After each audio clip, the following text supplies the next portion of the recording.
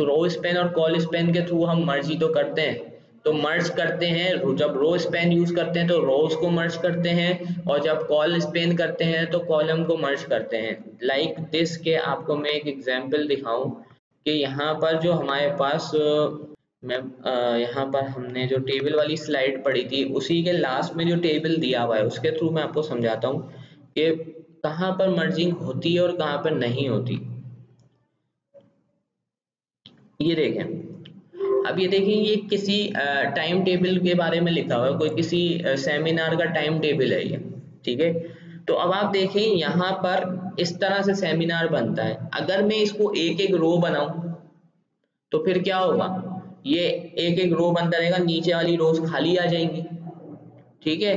तो मैंने कहा, भाई डे बताना है और यहाँ पर मैंने सेमिनार की, यहाँ पे मेरे पास इस कॉलम के अंदर डेज़ आ रहे हैं, ठीक है? यहाँ पर स्केजुअल आ रहा है कि हमारे पास जो सेमिनार है सेमिनार स्टार्ट होगा बिगिन और एंड ठीक है? अब ये देखें स्केजुअल जो है, ये आपके पास मर्ज किया गया क्यों मर्ज किया गया अगर इसको मर्ज नहीं करते तो साइड में खाली कॉलम आती, ठीक है? तो आप कहाँ पर आपको देखें, आपको कोई टेबल दिया जाएगा तो आपको स्ट्रक्चर दे दिया गया। आपने कहा, इस स्ट्रक्चर को फॉलो करना है। तो इस स्ट्रक्चर को फॉलो करते हुए ही आप डिज़ाइन करेंगे ना।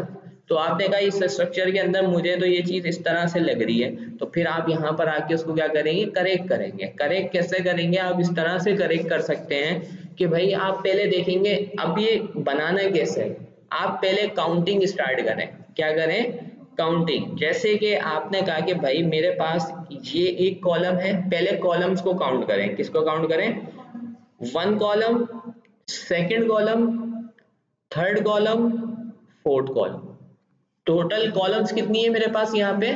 फोर है। कितनी है? फोर आप बोलेंगे तीन है। आपको कितनी कॉलम्स नज़र आ रही है यहाँ पर? फोर है। ठीक है, देखें फोर क्यों है? क्योंकि ये बिगिन और एंड भी एक अलग अलग कॉलम है। ठीक है, अगर वैसे देखें तो एक, दो, तीन। टोटल कितने आ रहे हैं? तीन आ रहे हैं। बट हम बिगिन और एंड को भी तो काउंट कर रहे हैं।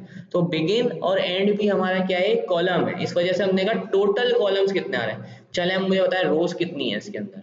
फोर है। कैसे फोर है? बताएँ। आपने पहले वाले कॉलम से काउंट करा है ना? आपने यही तो गलती की है। टोटल नाइन रोज है इसके अंदर। यहाँ से काउंट करें। This is one row second row third row fourth fifth ये देखें। ये डिवाइडेड है। ठीक है? तो यहाँ तक तो हो गई तीन कॉलम और तीन रोज, फिर ये fourth, fifth, six seventh eight. और यहाँ पर इनको अलग रखा है तो नाइन है आपके पास। टोटल रोज कितनी आ रही है? नाइन है टोटल रोज आपको सबसे पहले चीज़ स्ट्रक्चर के अंदर काउंट करना होता है कितनी कॉलम्स हैं और कितनी रोज हैं। Seminar one column schedule one column begin end वाली एक आपके पास जो है वो रो गई। फिर उसके बाद ये वाली जो रो आई है, कौन सी जिसमें एट और फाइव लिखा हुआ है, ये मजीद दो हिस्सों में डिवाइडेड है। तो इसको नहीं काउंट करेंगे, ये जितनों में टू टीवी हो उसको काउंट करेंगे। तो हमने थ्री और इंटू टू फाइव ठीक है? उसके बाद हमने कहा, यहीं पर आ जाते हैं। फाइव के बाद हमने कहा सेवन एट और सिक्स सेवन एट नाइन तो जो जितना डिवाइडेड है, हम डिवाइडेड वाली को काउंट करते हैं। जितनी डिवीज़न हुई है जहाँ जहाँ डिवीज़न हुई है, हम उसको काउंट करते हैं और फिर फर्दर आगे चलते हैं। तो आप अगर यही स्ट्रक्चर बनाना चाहते हैं तो आप किस तरह से बनाएँगे? तो मैंने जैसे आपको कहा कि हमारे पास टोटल रोज कितनी आ रही है? हमारे पास नाइन आ रही है ना तो मैं इसको यहाँ से कॉपी करता हूँ और एक नई फ़ाइल बना रहा हूँ एच की और उसके अंदर मैं इस सबको भी मिटा दूँगा और उसके बाद हम इसको समझने की कोशिश करते हैं। जैसे कि टी एच है ना तो हम यहाँ से ये वाले टेबल को नीचे वाला जो हमारा टेबल है, कोई एक टेबल हम यहाँ से रिमूव कर देते हैं। ये वाला टेबल जो नीचे इसमें बना हुआ था, उसको मैं करता हूँ रिमूव तो इस टेबल को यूज़ करते हैं। यहाँ से मैंने सेल्स पैडिंग भी हटा दिया और सेल स्पेसिंग भी हटा दिया। कितनी कॉलम्स काउंट की थी हमने? चार कॉलम्स थी ना? तो यहाँ पर हमारे पास कितने कॉलम्स आने चाहिए यहाँ पर? कॉलम्स के काउंट चार आने चाहिए। तो हमने यहाँ पर फ़र्स्ट ऑफ़ ऑल यहाँ पर आके बोल दिया टी एच और यहाँ पर आके मैंने कह दिया टी एच अच्छा अब आप देखें यहाँ पर आकर, पहले तो मैं इसको सेव करा देता हूँ उसको नाम दे देते हैं table one dot H T M L और इसको मैं यहाँ से फाइल्स करता हूँ। अब देखें यहाँ पर आकर आपके पास ये क्या आ रहा है कि यहाँ पर फ़र्स्ट रो को देखें। फ़र्स्ट रो में आपके पास कितना है? सिर्फ़ एक सेमिनार ही लिखा हुआ आ रहा है। बट आपने तो यहाँ पर बोला कि चार कॉलम है। आपने कितने बोले? चार कॉलम है। बट पहले कॉलम में आपके पास एक और चीज़ भी लिखी हुई आ रही है। डे भी लिखा हुआ आ रहा है। अब अगर अपना आप हेडर सेक्शन देखें तो आपका जो हेडर पार्ट है, जिसके अंदर स्केजुअल आ रहा है टॉपिक आ रहा है बिगिन एंड आ रहा है, ये टोटल थ्री रोज है। टोटल कितनी रोज है? तो पहले हम ये तीन रोज बनाते हैं और देखते हैं क्या रिज़ल्ट आता है। सिर्फ़ समझने के लिए, फिर उसको हम सेट करेंगे। तो हमने कहा, हमारे पास टोटल कितने कॉलम्स हैं? चार है ना? तो हमने लाजमी बात है, जब टी आर यूज़ कर रहे हैं तो टी डी के अंदर हमारे पास चार चार कॉलम्स बनाने पड़ेंगे। तो हमने यहाँ पर बोल दिया लेट से यहाँ पर हमारे पास लिखा हुआ आएगा सेमिनार अब मैंने कहा कि मेरे पास टोटल तीन रोज थी कॉपी किया पेस्ट किया। यहाँ पर आके मैं करता हूँ इसको पेस्ट और नाउ मैं यहाँ पर आकर इसको कर लेता हूँ यहाँ से टेबल वन को रन तो ये अभी टेबल वन आ रहा है मेरा देख रहे हैं? ये उस तरह का तो नहीं आ रहा।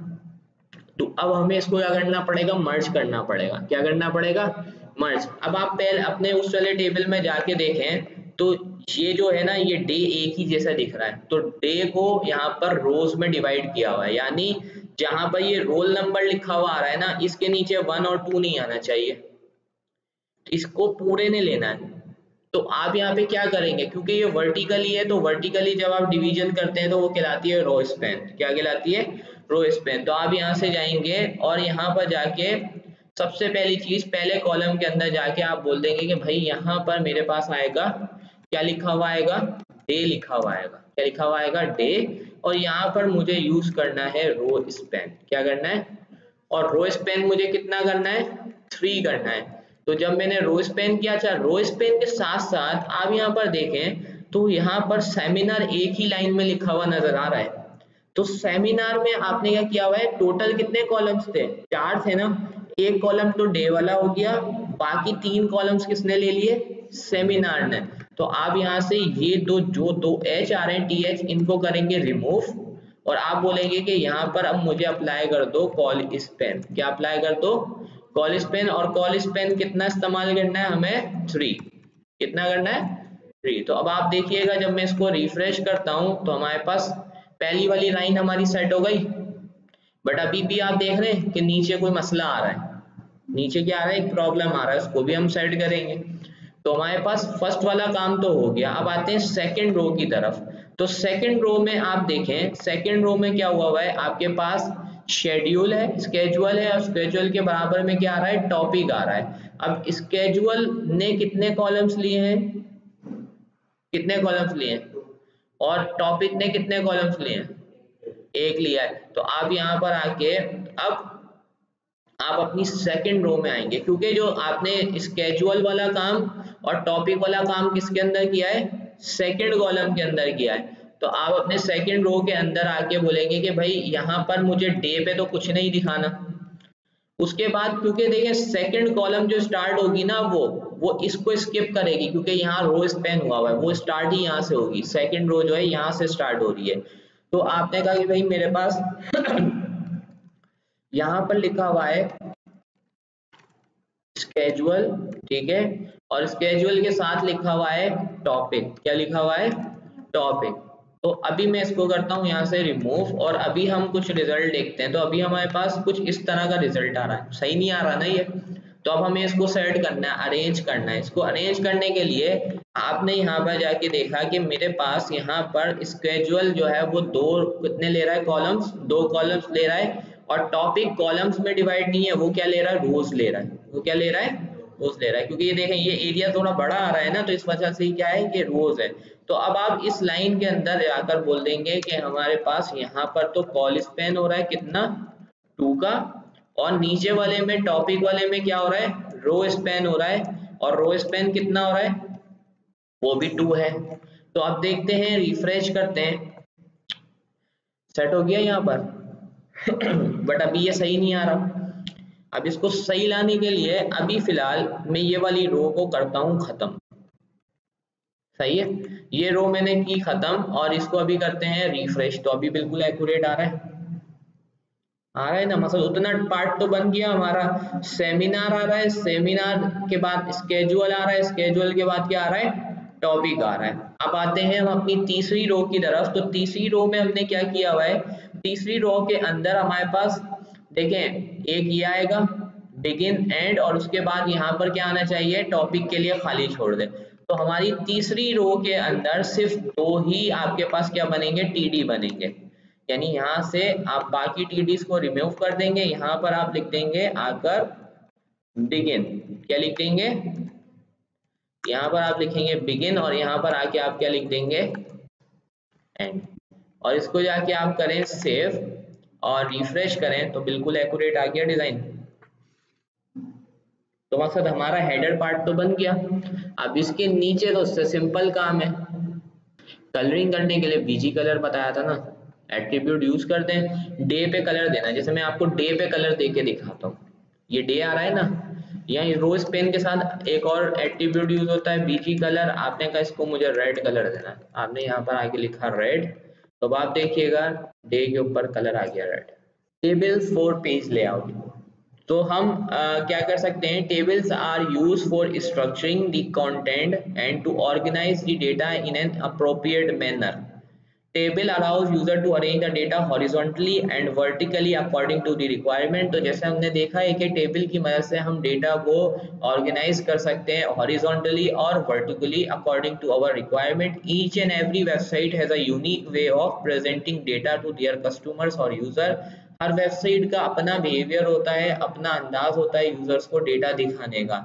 Many website use pop-up for providing information to their customer. बहुत सारी वेबसाइट क्या यूज़ करती है? पॉपअप यूज़ करती हैं और पॉपअप की मदद से आप क्या करते हैं? उनको यूज़र्स को अलर्ट्स दिखाते हैं कि आपके पास आप साइन अप कर लें।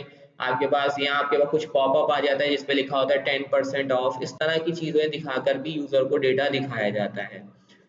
तो बेसिकली uh, आपके पास पहले क्या होता था कि पहले आपके पास क्या यूज़ होता था? पहले आपके पास टेबल्स यूज़ होते थे। वेबसाइट्स बनाने के लिए क्या यूज़ होते थे? टेबल्स यूज़ होते थे। बट आजकल आपके पास टेबल्स यूज़ नहीं होते। आप यूज़ करते हैं डिव्स क्या यूज़ करते हैं? डिव यूज़ करते हैं। तो आज हम थोड़ा सा कॉन्सेप्ट करेंगे कि what is div but in the end ये हमें समझ तब आएगा जब हम प्रैक्टिकल करके देखेंगे। क्योंकि डिफ का जो रिज़ल्ट है वो आपको तब तक विजिबल नहीं होगा, तब तक आप उसके ऊपर सी एस एस वगैरह अप्लाई नहीं करेंगे, ठीक है? सो बेसिकली टेबल लेआउट मसला आपके पास क्या होता था कि पूरी की पूरी वेबसाइट्स पहले जो है ना, वो आपकी टेबल्स पे बन जाती थी। जैसे कि मैं आपको एक इसका ओवरव्यू देता हूँ तो हम यहाँ से जाते हैं पेंट के अंदर। ये हमारा एम एस पेंट आ रहा है ना, अब देखें, हो सकता है हमारे पास कुछ वेबसाइट है, ये आप समझेंगे पूरा का पूरा मेरा पेज है। वेबसाइट है ये मेरी। अब इस वेबसाइट के अंदर मुझे क्या करना है? मुझे कुछ इस तरह का काम करना है कि मेरे पास यहाँ पर एक इस तरह से लाइन आ रही है, ठीक है? होता है ना वेबसाइट्स के अंदर।